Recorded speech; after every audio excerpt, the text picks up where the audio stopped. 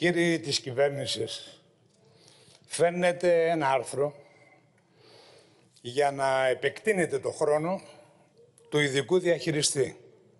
Σας πληροφορούμε, για να το ξέρετε καλά και να μην λέτε ανακριβή πράγματα, ότι οι εργαζόμενοι τον έχουν απολύσει συμβολικά. Και καλά κάνουν.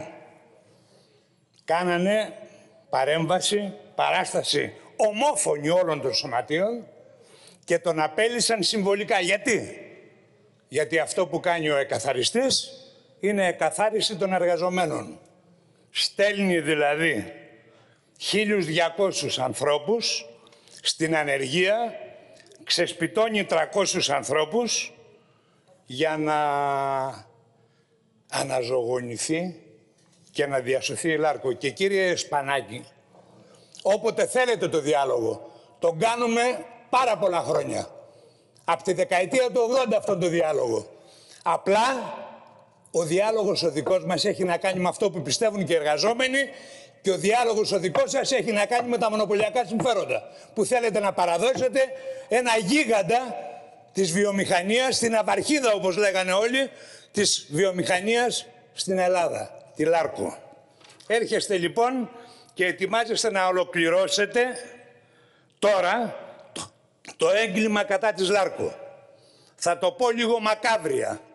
Όλοι σας, Νέα Δημοκρατία, Πασόκ, ΣΥΡΙΖΑ, ΣΥΡΙΖΑ, σκάψατε το λάκκο.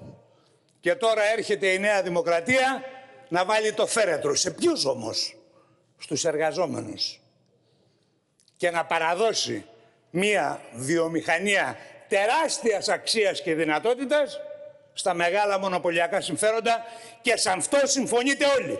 Και οι τρεις. Τι είπε η κυρία Γεννακοπούλου; Είμαστε υπέρ του στρατηγικού επενδυτή. Τι λέει ο ΣΥΡΙΖΑ; Είμαστε υπέρ του στρατηγικού ε, επενδυτή και τι βάζετε σαν κερασάκι στην τούρτα; Να διασφαλιστούν οι θέσεις των εργαζομένων. Κάνα μας δουλεύετε. Σε ποιους μιλάτε, σε ηλίθιους.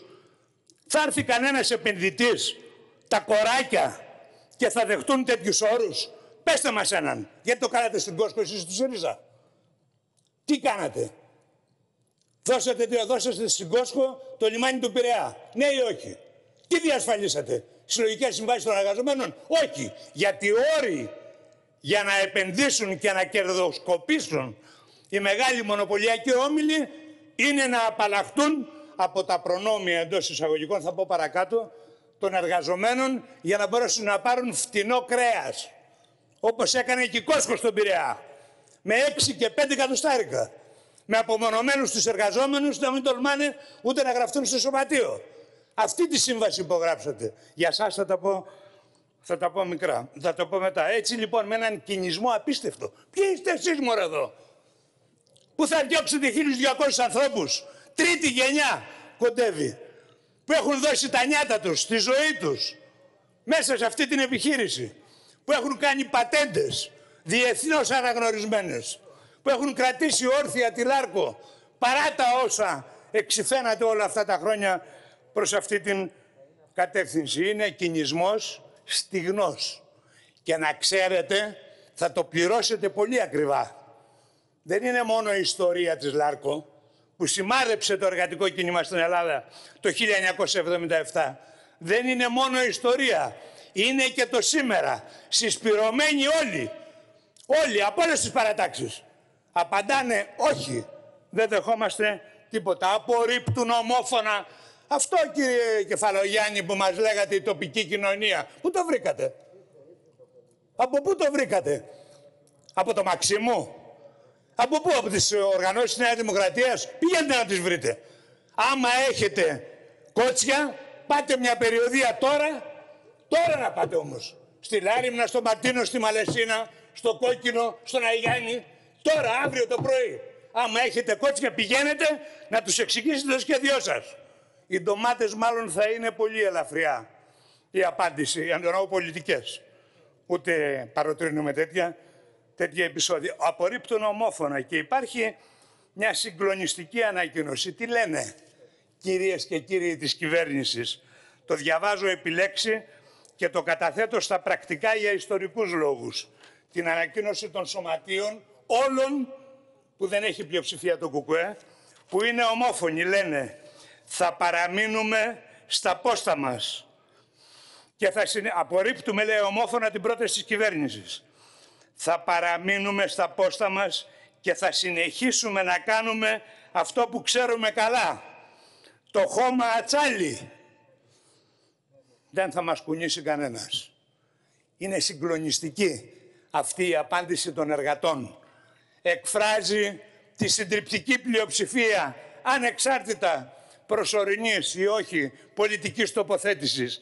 Τι λένε, θα συνεχίσουμε να... Τι θα τους κάνετε, θα πάτε να τους βγάλετε, τι θα πάτε, τα ΜΑΤ, το στρατό, τι θα κάνετε; Και μια και μιλάμε για αυτό το ατσάλι, κυρίες και κύριοι, εδώ μέσα χαρτογιακάδες, οι περισσότεροι τουλάχιστον, αυτό το ατσάλι που βγαίνει έχει και σφραγίδα. Αυτό που έφερε δισεκατομμύρια, τρισεκατομμύρια στην Ελλάδα όλα αυτά τα χρόνια έχει και μια σφραγίδα. Ξέρετε ποια είναι η σφραγίδα; Είναι το αίμα 80 ανθρώπων που δολοφονήθηκαν σε εργατικά ατυχήματα και δεν σκοτώθηκαν. Έχει τη σφραγίδα εκατοντάδων οι οποίοι σακατεύτηκαν όλα αυτά τα χρόνια για να βγαίνει ο μαύρος χρυσός όπως λέγεται το νικέλιο.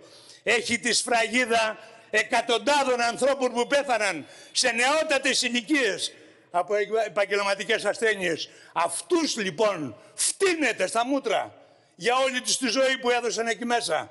Και σε αυτούς τι τους λέτε; Αύριο το πρωί δρόμο θα φύγετε από τη δουλειά. Σεις που κρατήσατε όρθιοι αυτό το εργοστάσιο με θυσίες ατομικές, οικογενειακές, με αγώνες, κόντρα σε ένα πανίσχυρο κράτος. Τι τους λέτε στην ανεργία και τι τους στάζετε αλήθεια; Κα δεν τρέπεστε λίγο. Σε ποιους μιλάτε; Ούτε σε ηθαγενείς και δεν τους προσβάλλω. Τι τους λέτε; Θα σας βάλω να κάνετε τι όπως λέγανε στο σκαλιστήρι παλιά. Ότι να γίνετε κομμωτές. Έχετε δει τα χέρια τους; Μπορούν να κουρέψουν; Τι τους λέτε τώρα σε κοινοφελή εργασία; 500 ευρώ το μήνα. Ε; Και όχι αυτά που παίρνουν σήμερα που δεν είναι και υπερβολικά. Τι τους λέτε στο πρόγραμμα το μεταβατικό; Δηλαδή, τι; Και αν νομίζετε, δώστε μου λίγο χρόνο κύριε Πρόεδρε, γιατί είμαι και φορτισμένος επειδή έχω προσωπική εμπειρία πολλών χρόνων. Και όχι μόνο εγώ, αλλά όλο το κουκουέ.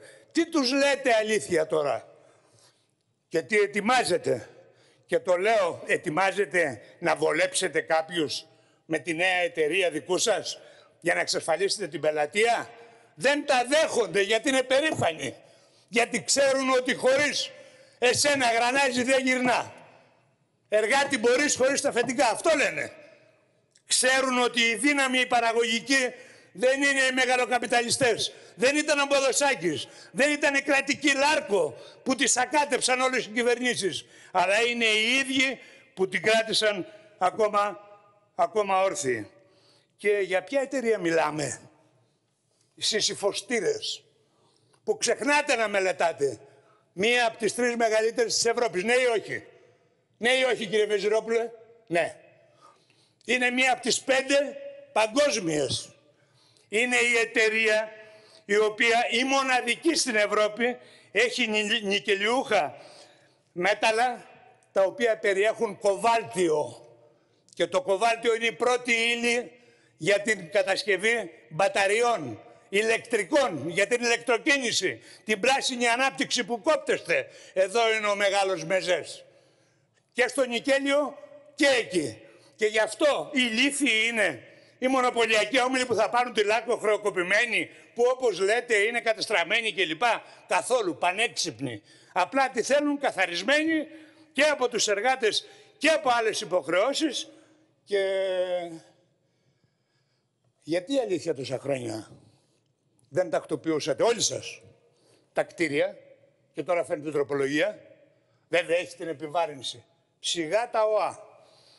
Γιατί δεν το κάνατε τόσα χρόνια, δεν το ξέρετε. Όχι. Γιατί θέλατε να ακολουθήσει αυτή την πορεία. Αυτή λοιπόν η Λάρκο, κυρίες και κύριοι, και τα λέω για τον ελληνικό λαό, με όλα τα προβλήματα που τις τα φορτώσατε εσείς, γιατί ποτέ δεν ακούσατε τις προτάσεις των εργαζομένων, έχει όλους τους πελάτες σε παγκόσμιο επίπεδο του ανοξίδωτου χάλιβα. Και έχει τεράστιες δυνατότητες και θα πω στο, και θα πω στο τέλος.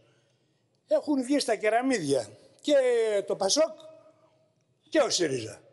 Και εμείς αναρωτιόμαστε, όταν το 2019 ο Υπουργός Οικονομικών, δεν έχει σημασία το πρόσωπο, η πολιτική ήταν, ήταν ο κύριος Τσακαλώτης, θα μπορούσε να είναι ο κύριος Παπαγεωργόπουλος, παραδείγματος χάρη.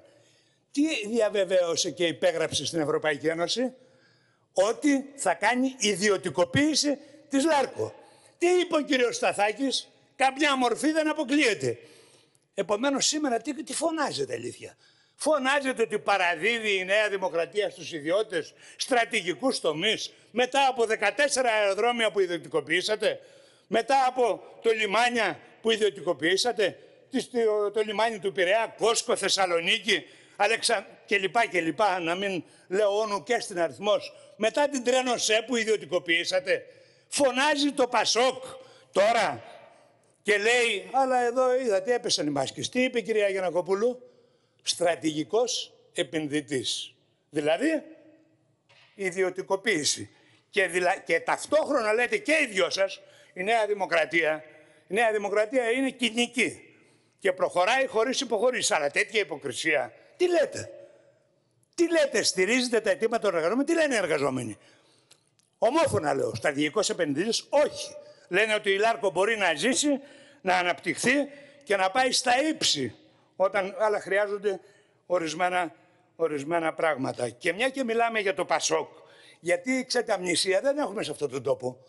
Εσείς κύριε Αντωνίου μπορεί να είστε μικροί και να μην θυμάστε, αλλά εμείς θυμόμαστε και άμεσα. Η Λάρκο και η πορεία της κρίθηκε το 1986. 500 απολύσεις έκανε η κυβέρνηση του Πασόκ. Δεύτερο και σημαντικό, το σημαντικότερο, είχε κάνει πρόσκληση ενδιαφέροντος είχε κάνει πρόσκληση ενδιαφέροντος για να γίνει το εργοστάσιο του ανοξίδωτου Χάλιβα που ήταν η λύση για εκείνη την περίοδο. Γιατί η υπεραξία του νικελίου βγαίνει η υπεραξία του νικελίου είναι στον ανοξίδωτο Χάλιβα. Ήρθαν πέντε προτάσεις. Τις απέρριψε όλες ή μάλλον έκανε ότι δεν τις άκουσε. Γιατί; Γιατί η ThyssenKrupp, η Λενικέλ και οι άλλες εταιρείες που ήταν πελάτες καταλάβαν ότι αν γίνει αναξιότος χάλιβα στην Ελλάδα θα χάσουν τα υπερκέρδη τους.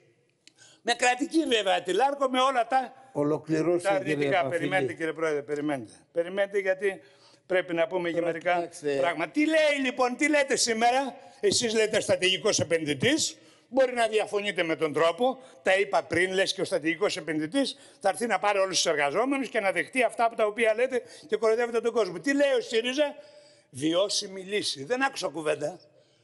Από όλους σας. Βιώσιμη λύση δηλαδή. Τι. Ένα στρατηγικό σχεδιασμό λέει με μέλλον, προοπτική κλπ. Καλά τώρα πλάκα κάνουμε. Το λέω απλά. Τι μας λέτε τώρα; Σε ιδιώτες θα πάει. Και η ιδιωτικοποίηση έχει πολύ συγκεκριμένους όρους και μην κρινιάζετε, κύριε Χατζη, Χατζηγιαννάκη. Βεβαίως και θα τη βάλουν στο Ταμείο Ανάκαμψης. Γιατί να μην τη βάλουν; Γιατί η Ευρωπαϊκή Ένωση μπορεί να κοπανάει πρόστιμα σε κρατικές επιχειρήσεις που υποτίθεται, δεν έχω ώρα να τα αναλύσω, μπορώ να μιλάω ώρες για τη Λάρκο, αλλά όμως ταυτόχρονα την ίδια στιγμή δίνει στους ιδιώτες δισεκατομμύρια. Γιατί αυτά δεν τα δίνετε στη Λάρκο; Γιατί δεν δίνετε σε αυτή τη Λάρκο που υπάρχει, παρότι εμείς έχουμε άλλη σκέψη. Κύριε Κλείστε όμως. Κεφαλογιάννη. Κλείστε. Θα τα ναι. πει και ο κύριος Καραθανοσόπουλος. Ναι, θα, δεν πειράζει. Δεν Ω κοινοβουλευτικός εκπρόσωπο. Δεν πειράζει, κύριε Πρόεδρε. Τώρα εμείς οι ε, Ρωμελιώτε έχουμε λίγο ναι, αλλά ε, επιθετικό λόγο. Πρέπει, Για να σας πω λοιπόν τώρα. Για να δούμε. Κανονισμό. Για να δούμε. Τι μας είπατε, Ταμείο Μηδενικό, 500 εκατομμύρια, όχι ανταγωνιστική. Δεν έγιναν επενδύσεις και εξυγχρονισμός. Ε, ε, και λοιπά και λοιπά. Αυτά δεν είπατε; Καθρέφτης έχετε; Πάτε, αγοράστε. Φτηνή είναι. Και εσείς και, η Νέα, και το Πασόκ και ο ΣΥΡΙΖΑ. Πάρτε έναν καθρέφτη. Ποιος κυβερνούσε την Ελλάδα; Εσείς και το Πασόκ δεν κυβερνούσατε και ο ΣΥΡΙΖΑ; Εμείς το κυβερνούσαμε. Ποιος δεν τα έκανε όλα αυτά; Ποιος έκλεισε τα αυτιά του σε όλες τις προτάσεις των εργαζομένων; Όλοι σας. Άρα, άρα μην μιλάτε για ευθύνες για το κατάντημα της Λάρκο που την κράτησαν παρόλα αυτά όρθια οι, οι εργαζόμενοι. Λέμε πάρτε τα όλα πίσω, δεν θα ξεμπλέξετε καλά. Δεν έχετε συνέστηση τι συμβαίνει στην περιοχή. Όχι μόνο της Φθιώτιδας, αλλά και της Εύβοιας και της Βιωτίας και της Μακεδονίας. Δεν έχετε αίσθηση της πραγματικότητας. Θα βρεθείτε μπροστά σε καταστάσεις που δεν θα τις ελέγξετε. Δεν παραδίνονται οι λαρκιώτες και η περιοχή. Δεν παραδίνονται γιατί έχουν, έχουν πλούσια εμπειρία. Γιατί έχουν πλούσιες παρακαταθήκες. Πάρτε τα λοιπόν όλα πίσω. Σταματήστε τώρα και αφήστε τα κόλπα και τα υπόγεια παιχνίδια. Σταματήστε τώρα. Σας λέμε ότι η Λάρκο αποτέλεσε το ναρκοπαίδιο πολλών κυβερνήσεων. Θυμηθείτε το. Τι λέμε, τι λένε οι εργαζόμενοι, δεν λέω εγώ τι λέμε εμείς. Ενιαία και συνολική παραγωγική λειτουργία της Λάρκου. Σχέδιο και χρονο, χρονοδιάγραμμα επισκευής. Έτοιμοι είναι. Έχουν προτάσεις εξυγχρονισμού, αύξηση παραγωγής, ασφάλεια για τον κόσμο. Να πάτε μια μέρα όλοι σας και να είναι και καλοκαιρινή. Να δείτε πώς δουλεύουν αυτοί οι άνθρωποι. Να πάτε εκεί και να καθίσετε ένα οχτάωρο. Το έχω ξαναπεί όλο το Υπουργικό Συμβούλιο. Να πάτε να αναπνεύσετε και να φτύνετε μαύρο μια εβδομάδα. Γιατί αυτή είναι η κατάσταση. Να πάτε εκεί να δείτε που κατηγορείτε και τους εργαζόμενους που την κράτησαν όρθια, που έχουν κάνει θαύματα κυριολεκτικά κόντρα σε πολιτική όλων των κυβερνήσεων και του αστικού συστήματος. Διασφάλιση όλων των θέσεων εργασίας. Δεν πρόκειται να τους διχάσετε με κόλπα. Θα είναι μονιασμένοι και ενωμένοι, γιατί ξέρουν ότι αυτή είναι η δύναμή τους και αφήσαν στην πάντα όλες τις ιδεολογικές διαφορές, καταβολή όλων των χρεωστουμένων. Ποια είναι η διέξοδος; Βάλτε μια τελεία τώρα. Την τελειώνω. Η διέξοδος είναι μία. Δεν υπάρχουν άλλες. Η ιδιωτικοποίηση είναι φούσκωμα στα πορτοφόλια των διάφορων μονοπωλίων. Αυτή είναι η ουσία και αυτή είναι η πολιτική και της Ευρωπαϊκής Ένωσης που αλήθεια εσείς του ΣΥΡΙΖΑ τρίφωνα, εσείς του ΣΥΡΙΖΑ, τι λέτε ρε στο Θεό σας; Τι λέτε ότι η κυβέρνηση είναι κόντρα στην πολιτική της Ευρωπαϊκής Ένωσης που στηρίζει, να την κάνετε με τη Νέα Δημοκρατία και το, και το ΠΑΣΟΚ που τόσα χρόνια ακολουθείτε την ίδια πολιτική. Έχετε συνεταίρους, τι μας θέλετε μας. Εμείς είμαστε σε άλλη κατεύθυνση. Κλείστε. Λέμε λοιπόν. Μην διακόπτετε, κλείστε. Ευχαριστούμε. Τι λέτε ρε στο Θεό σας; Η Ευρωπαϊκή Ένωση έχει τσακίσει τη Λάρκο με τα πρόστιμα και εσείς λέτε ότι η Νέα Δημοκρατία είναι αντίθετη με την πολιτική της Ευρωπαϊκής. Μα τόσο λιγουρία είσαστε. Λοιπόν. Πόσο λιγούριδες είσαστε. Πόσο προσκυνημένοι στην απάνθρωπη πολιτική της Ευρωπαϊκής Ένωσης. Και μετά θέλετε και προοδευτική διακυβέρνηση. Καρέκλες θέλετε για να ξεδασπώσετε το σύστημα. Εμείς λέμε λοιπόν τι θα μπορούσε να γίνει. Καθετοποίηση της παραγωγής. Τα είπατε, Ανοξίδωτος τα είπατε. χάλιβας. Τελειώνω. Κοβάλτιο. Μπορούμε να το κάνουμε. Κάνανε πειραματικά οι εργαζόμενοι ηλεκτρόνηση και βγάλαν κοβάλτιο. Μπορούμε να αξιοποιήσουμε όλα τα υπολείμματα που είναι η σκουριά, που έχει σίδηρο, που είναι η σκουριά που χρησιμοποιείται σε αμοβολές, στα καράβια παντού και που την παίρνουν τζάπα οι εργολάβοι. Και τα περιβαλλοντικά στα μούτρα σας. Εμείς λοιπόν θα κάνουμε ό,τι κάναμε πάντα. Το 77 κύριε Κεφαλογιάννη, συγγνώμη τώρα αλλά Μην με χάρος αρκεί, μιλάω. κύριε Είναι Παφίλη. προσωπικό. Σας παρακαλώ, το 77 ευχαριστώ πολύ. η Λάρκο Ευχαριστώ θερμά. γονάτισε την κυβέρνηση τότε Λοιπόν. της Νέας Δημοκρατίας και τον Ποδοσάκη. Άνοιξε δρόμους για το εργατικό κίνημα. Ήρθε Ναι. το Πασόκ, το εκμεταλλεύτηκε, το ξεπούλησε το 86 απολύοντας και απορρίπτοντας αυτές τις, τις προτάσεις και συνεχίζεται σε αυτή την κατεύθυνση. Κύριε Εμείς Παφίλη. μαζί με τους εργαζόμενους θα παλέψουμε Ακουστήκαν μέχρι πολλές σε σκάτων φορές. Μην και μολόν να επαναλαμβάνετε.